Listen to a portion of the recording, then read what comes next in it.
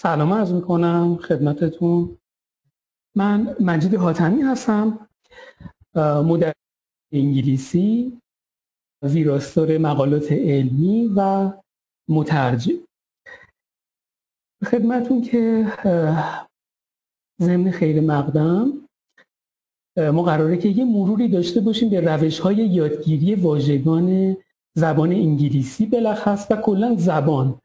و اینکه چطور می‌تونیم واژه ها رو مال خودمون بکنیم و اصطلاح تو بافت جمله ازش استفاده بکنیم.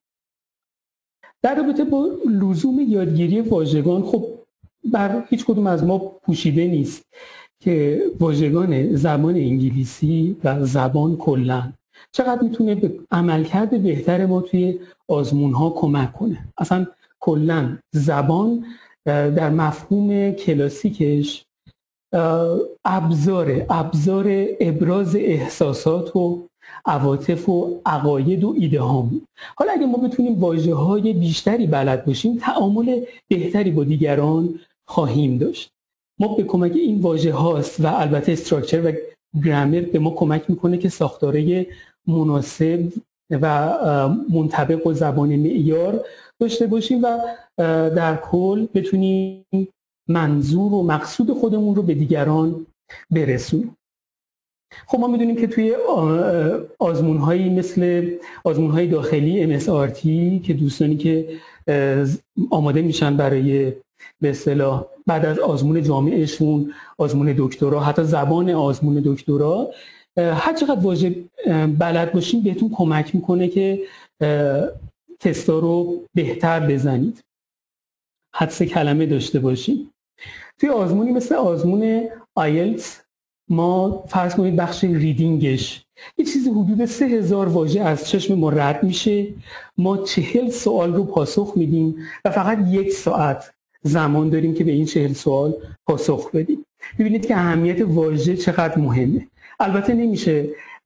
اگر واژه رو از reading من بذارم کنار یا ما واژه رو میشنویم تو بخش listening یا باید بگیم speaking یا باید بنویسیم writing یا تو بخش reading می‌بینیم و اگر نبینیم این تست ها باعث میشه که ما وقت رو از دست بدیم. پس اهمیت واژه منهای اینکه ما کمکمون می‌کنه برای تعامل با دیگران. توی آزمون ها هم به داد ما می‌رسه. حالا بریم یه نگاهی داشته باشیم به اینکه چه اتفاقی میفته تو ذهن ما. ما چرا واژه ها رو فراموش می‌کنیم؟ اینجا منحنی فراموشی ابینگ هاوس رو آوردن براتون. ابینگ هاوس یه روانشناس آلمانی تبار هستش. خلاصه این به اصطلاح نمودار به ما میگه که منحنی فراموشی که ما مطالب جدید اطلاعات جدیدی که توی یک ساعت مطالعه می‌کنیم. پس کنید همین یک ساعت وبیناری که الان با هم داریم. چیزی حدود 50 در... درصدش رو فراموش می‌کنیم بعد از یک ساعت. توجه کنید اطلاعات جدیدی که ما می‌خونیم می‌بینیم ظرف یک ساعت فراموش میشه که وقتی ما مرور نداشته باشیم وقتی منفعلانه فقط نگاه کنیم حواسمون رو حواس پنجگانمون رو به کار نبریم. اینی که الان ازتون خواهش کنم اگه در دسترستون هست همین الان یه قلم و کاغذ برداریم و سعی کنید بعضی از مطالبی که فکر می‌کنید مهمه هایلایت هاش رو یادداشت بردارید. ما بعد از 24 ساعت فاجعه اونجاست که ما 70 درصد مطالب رو فراموش می‌کنیم. این عدد عدد عجیبیه. میگم وقتی ما منفعلانه به قضیه نگاه بکنیم. حالا صحبت روانشناسا شد از این نکته هم من نگذارم که ذهن ما رو به یه زیرزمین یا انباری تشبیه کردن بعضی از روانشناسا. چی پیش میاد که مثلا ما انتهای سال می‌خوایم بریم فرض کنید که یه وسیله ای رو بیاریم بیرون مثلا فرض کنید یه بخشی از سفره افسینمون رو و پیداش نمی کنیم به خاطر اینکه گرد فراموشی روش نشسته. چیکار کنم که فراموش نکنم؟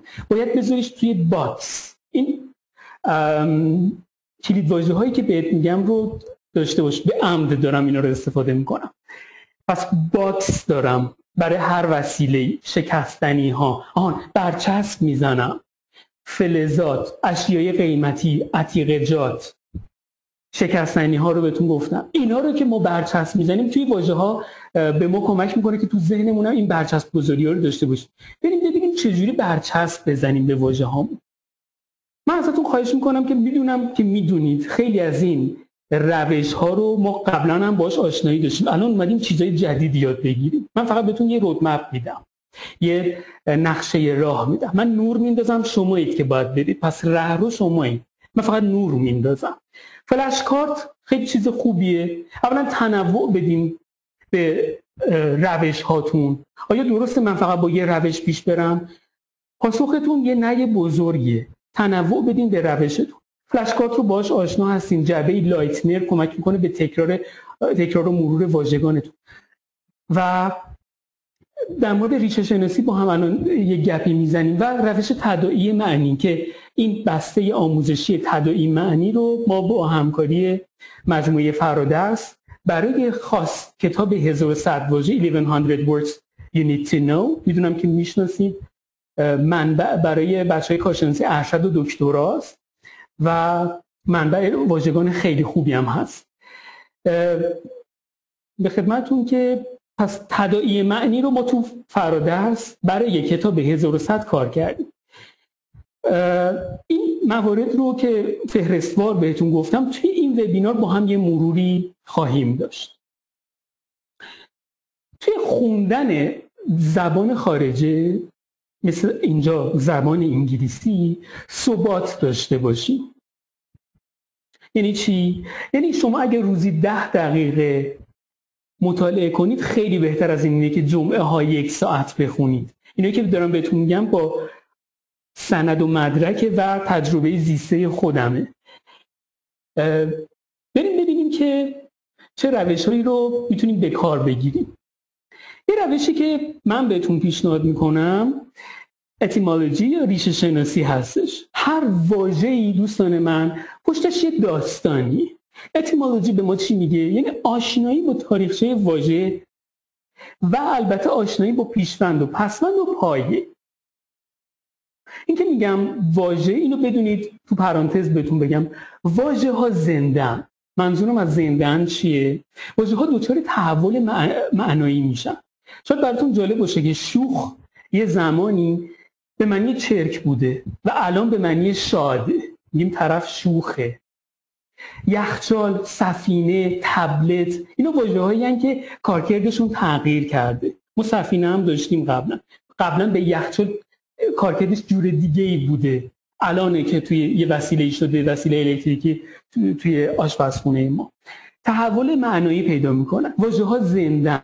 واژه ها توی بافت جمله ما نقش بازی می‌کنن. پس من همین الان بهتون میگم که خوبه که مترادف بلد بشی.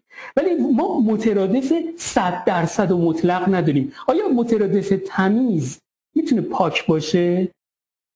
طرف پاک خودشو باخت. چی شد؟ کارت خیلی تمیزه. خیلی تمیز کار می‌کنی. چی شد؟ آهان. پس واژه ها توی جمله های ما نقش بازی می‌کنن. واژه ها زندن و توی هر جمله نقش بازی می‌کنن. این کلید واژه ها رو می‌تونی یادداشت کنی. بریم سراغ اتیمولوژی و اینکه داستان پشت هر واژه چیه. اینو به عنوان یه تفریح فعلا از من داشته باشیم مثلا واژه‌ای مثل استکان باک. ترمز سخاری اینا واژه های روسی از زبان روسی ما قرض گرفتیم. همونجوری که ما قرض میدیم به زبان های دیگه از زبان های دیگه هم قرض می‌گیریم. این به خاطر زنده بودن زبانه ها ببینید تو ترکی قالپاق میگیم یاتاغان میگیم قاچاق میگیم. دونستن اینا باز برای شما حتی برای همون برچسب گذاری روی box ها box انباری ذهن. ما نمی‌خوایم هی واژه ها رو تلمبار کنیم. این تلمبار کردنه که باعث میشه واژه‌ای که میخوامو پیدا نکنم. نمی‌تونم حرف بزنم. چرا؟ نمی‌تونم بنویسم. چرا؟ خب حالا این مورد فرانسویش هم بهتون بگم. واژه هایی مثل گاراژ بیسکویت املت کلیشه اینا فرانسوی هستن. حالا جالبه برام که مثلا بیسکویت دو بار پخته شده معنی میده. شاید به خاطر bi یا bi اولشه. همونجوری که من میگم biped دو پا. یا bicycle bi یعنی دو. cycle چرخ. bicycle دو چرخه. پس من با etymology در حقیقت کمک می‌کنه به من که حدس کلمه بزنم که برچسب بزنم. phob یعنی چی؟ یعنی fear همونجور که ما فارسی نمی‌دونم pointer نداریم. می‌بینید چیز منو به اصطلاح cursor موس منو. فوبیا داریم درسته؟ Claustrophobia. claust close. phobia. fear. ترس از فضای بسته. Claustrophobia acrophobia. همین که من بدونم phobia به معنی ترسه من کمک می‌کنه سر آزمون رد تست کنم read around the words کنم. دارم reading می‌خونم. تو مسیر یادگیری زبان دارم ببینید دارم میگم مسیر. دست اندازاتون رو کم کنید. تو مسیر یادگیری زبان دست اندازاتون رو کم کنید. دست انداز به شما panic میده. listening آیلتس رو کمبریج آیلتس رو چک کنید. بیشتر واژه هایی که به عنوان پاسخ هستن دوستان من واژه هایی هستن که حتی در سطح elementary شما بلدین. اما چرا من مثلا توی آیلتس نمره listening هم کم میشه؟ به خاطر اینکه به شما panic میده. راجع به claustrophobia میگه یا مثلا میگه bathysiderodromophobia. میگه چه واژه چی بود؟ این جمله بود یا واژه بود؟ من اینو تقطیعش می‌کنم. پس acrophobia acro میگم height phobia fear ترس از ارتفاع acrophobia bathysiderodromophobia که عمدن من این واژه رو آوردم. جمله مانند خیلی طولانی مثل sesquipedalian اتفاقا هم طولانی هم به معنی long ه. به معنی درازه. واژه درازی هم هست. اصلا شاید اول دیدنش بعد گفتن چقدر دراز بهت میاد. خب؟ il پیشوند ماست. همین که من بدونم منفی سازه به من کمک می‌کنه که حدس کلمه بزنم. legal بلدم؟ illegal logical بلدم؟ منطقی. illogical mal به معنی بد wrong بد بد کار می‌کنه. malfunction function رو بلدم. عمل کرد malfunction عمل کردش ایراد داره. ایراد تو عمل کردش داره. adjust رو می‌دونم تنظیم کردن. maladjusted پس mal il phob به من کمک کرد که من حدس کلمه بزنم. حتی توی کلمات خیلی بلند حتی توی کلماتی ناشناس یا جدیدی که توی ریدینگا می‌بینم مثلا.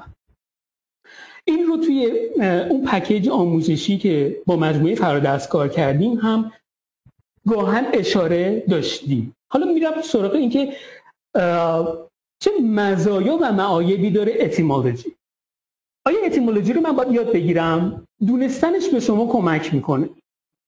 قطعا به شما کمک می‌کنه. پس من برای اون دوستانی که تازه به جمعمون وارد شدن در مورد ضرورت یادگیری واژه توضیحاتی خدمتتون دادم. در مورد انواع روش های بالا بردن دایره واژگان داشتیم صحبت می‌کردیم که رسیدیم به کجا؟ به ریشه شناسی مثلا اولین لغت